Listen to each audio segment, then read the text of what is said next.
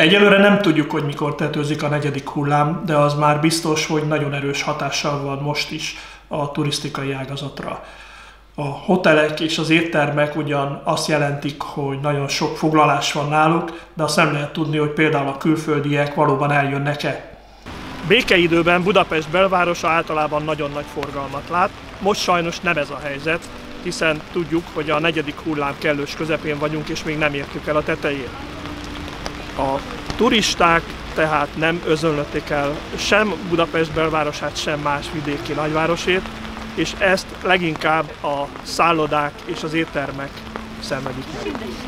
Bármilyen rossz is az idő, azért az elég meglepő, hogy még mindig nagyon népszerűek a buszos városnézések a külföldiek körében, ez tulajdonképpen mindent ver. Ezen kívül az is újabban igen népszerű lett, hogy ilyen esti vacsorázó partikat szerveznek, kisebb csoportok számára természetesen, és ezt elég sok turista választja, úgyhogy igazából nem nagyon van aggódni valója ezeknek a turisztikai szervező cégeknek. Hogyha megnézzük például Ferihegy forgalmát, akkor az őszi időszak igen erős volt, a legjobb számokat hozták, és lassan kezdett talpra állni maga az üzemeltető is, de az év vége az még bizonytalan.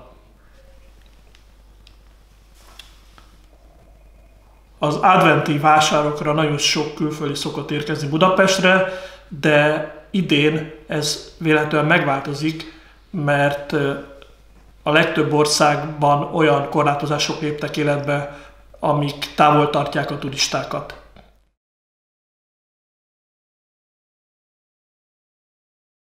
A kormány szép nagy pénzesőt zúdított a családokra, a nyugdíjasokra, és ebből arra is gondolhatnánk, hogy majd ők el fogják költeni ezeket a forintokat éppen a karácsonyi időszakban. Ez részben igaz is lehet, de azt nem valószínű, hogy jelentősen megugrik majd a költés.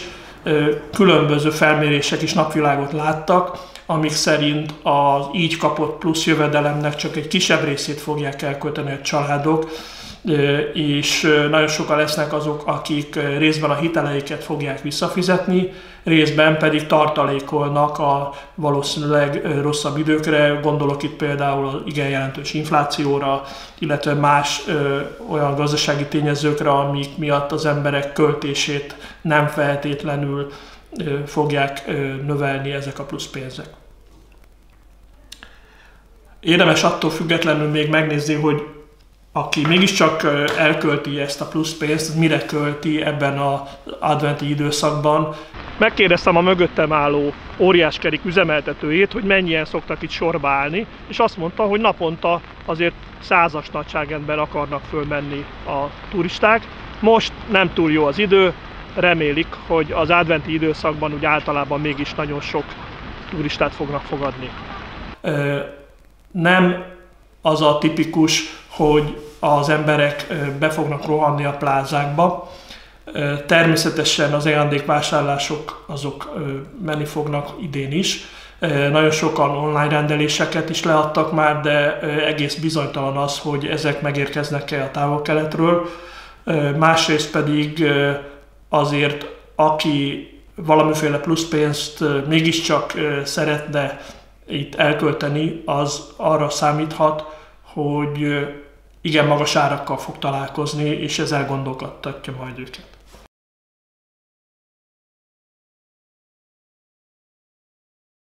Készült egy online felmérés, azt tudakolta az egyik szakoldal, hogy az éttermek és a szállodák milyen évvégére várnak, mit, mit remélnek ettől a hátralévő két-három hetes időszaktól. És igen, jelentős számú, körülbelül egy harmad részük azt mondta, hogy gyakorlatilag inkább csak a túlélésre játszanak, és mindenképpen arra számítanak, hogy lesz valamiféle korlátozás Magyarországon, ami az ő üzletmenetüket is befolyásolja. Jártunk nagyon sok bevásárlóközpontban, étteremben is az elmúlt néhány napban, hotelben is megfordultunk, és nem egységes a gyakorlat. Természetesen a beltéren mindenkitől megkövetelik a maszk használatot, de például a védettségi igazolvány az, az nem mindenhol előírás, és úgy gondoljuk, és egyébként nagyon sok étteremvezető is azt az álláspontot képviseli, hogy országosan kötelezővé kéne tenni ezt az előírást annak érdekében, hogy mindenki biztonságban lehessen. Természetesen a szállodák nagyon készültek az év végére, mint ahogy korábban is. Szépen feldíszítették a lobbit, külön csomagokat találtak ki annak érdekében, hogy minél több vendég érkezzen, de továbbra is bizonytalan az, hogy akik foglaltak, azok valóban eljönnek-e. Hagyományosan erős az évvége a budapesti szállodáknál is, idén is ez van, legalábbis a foglalások terén. Egyelőre azonban teljesen bizonytalan, hogy azok, akik foglaltak szállodai szobát, valóban eljönnek-e külföldről. Az éttermek és a szállodák évvégi üzletmenetére igen jelentős hatással van az, hogy a cégek általában december közepén, második felében szokták megrendezni a különböző céges évzáró rendezvényeiket, illetve egyéb konferenciák és más rendezvények is vannak decemberben. Na most Természetesen ezekre most is sor kerül, de nem olyan arányban és nem olyan méretben, mint ahogy korábban. Sőt, azt is lehet hallani, hogy egész sor olyan nagyvállalat van, amelyik inkább az utolsó pillanatban lemondja ezeket a saját nagy rendezvényeit, amiket hotelben vagy étteremben tervezett, mert azt szeretné, hogyha a alkalmazottai továbbra is biztonságban lennének, ez pedig rossz hír ugye az étteremnek vagy a szállodának. A szállodákat és az éttermeket az is sújtja, hogy az elmúlt 6-8 hónapban nagyon megemelkedtek az alapanyagárak, és továbbra is igen magas munkabérekkel kell számolni egyáltalán azért, hogy visszajöjjenek dolgozni az alkalmazottak. Erre tehát nem nagyon volt befolyásuk, és ezt valahogy nekik ki kell gazdálkodniuk. Ha pedig nem lesznek ezek a céges rendezvények, és a családok, magánszemélyek is kisebb számban fogják valóban igénybe venni ezeket a szolgáltatásokat, akkor az a helyzet áll elő, hogy jövő év január-februárjában nagyon sok, főleg kis vagy közepes méretű szálloda és független étterem kerülhet bajba.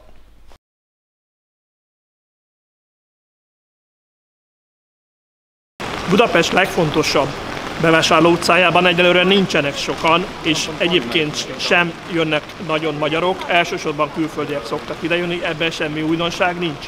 Viszont mivel kevesebb a külföldi, az üzletek forgalma is visszaesett az elmúlt néhány hétben, erre reakció volt az üzlet tulajdonosok részéről az, hogy összefogtak és egységes reklámakciókba fogtak, ezzel megpróbálják túlélni ezt a nagyon nehéz időszakot. A katasztrofálisan gyenge magyar forint miatt a külföldiek ugye viszonylag jobban járnak, és elég sokat látni azért közülük, akik bemennek különösen ruházati üzletekbe, ahol szépen költenek is. A rendkívül gyenge forint miatt ö, némi bevásárlóturizmust is lehet érezni, nem csak Budapesten, hanem kifejezetten a határmenti településeken, ahol vannak olyanok, akik a jóval olcsóbb benzin miatt jönnek át, de mások fölkeresik a különböző plázákat, Győre vagy Debrecenre gondolok elsősorban, de Budapesten is a, a belvárosi plázákban megjelenő külföldiek, akik ugye az eurójukat használják, jól járnak, és ők megpróbálnak minél jobb üzleteket kötni, illetve megpróbálnak bevásárolni. Érdemes megnézni, hogy a, az idei adventi időszakban milyen, mik a legnépszerűbb termékek, amiket ezekben a üzletközpontokban, illetve a bevásárló utcákban a külföldiek is, meg a hazaiak is vásárolnak. Hát az a jelentős változás, hogy a műszaki cikkeknek a népszerűsége a továbbra is igen erős, de már nem a legfontosabb. Megint előjött a ruházat, illetve hát természetesen főleg a hazai vásárlók egy része miatt az élelmiszer, ugye ami hihetetlenül megdrágult, és erre nagyon sokan fognak költeni. Magyarul valahol az az igazság jön elő megint, amit sokan hangoztatnak, hogy annyi vagy, amennyit megeszel, tehát inkább ezekre fognak költeni nagyon sokan, semmint, hogy valahova például elutazzanak, ahova ugye eleve bizonytalan külföldre menni, tehát a, a költéseiknek a szerkezete az átalakulóban van, és ma már nem feltétlenül lapos tévét fognak vásárolni az emberek, hanem különböző wellness szolgáltatásokat vesznek igénybe. Természetesen pontosan nem lehet tudni, hogy mi fog következni a negyedik hullám után. Lehet, hogy lesz ötödik, meg hatodik hullám is, amire jó lenne minél inkább fölkészülni a vállalkozásoknak is, de ahogy már említettük, a vállalkozások egy jelentős része továbbra is munkaerőgonddal küzd, erős a munkaerőhiány, és lejár az a hitelmoratórium, amit korábban érvényben tartottak, illetve meg is hosszabbítottak. Ezután pedig gyakorlatilag nem lesz miből fizetni a hitelt, elég sok hotel, panzió és étterem tulajdonos is küzdik ezzel, ezért előfordulhat, és különböző szállodaipari szakemberektől ezt már hallottuk, nem is olyan régen volt erről egy, egy felmérés is, hogy kis és nagy szállodák is eladósorba kerülhetnek amiatt, hogy nem tudják fizetni a hiteleiket. Némelyiket természetesen befektetők fognak megvásárolni, de nem biztos, hogy mindegyik el kell, mert annyira rossz az állapot, hogy túl sokat kellene ráfordítani. A Összességében azt lehet mondani, hogy a negyedik hullám egyelőre még nem érezheti hatását a idegenforgalomban Magyarországon, de a bizonytalanság az a legfontosabb tényező, ami miatt nagyon sok vállalkozás kénytelen azzal számolni, hogy egyelőre csak a túlélés a cél, és hiába van nagyon sok foglalás, nem biztos, hogy ezek meg is valósulnak, tehát hogy a vendégek megjelennek a szállodában vagy az éttermekben. Minden esetre azt lehet remélni, hogy nem lesz semmiféle lezárás, ami ezt korlátozna.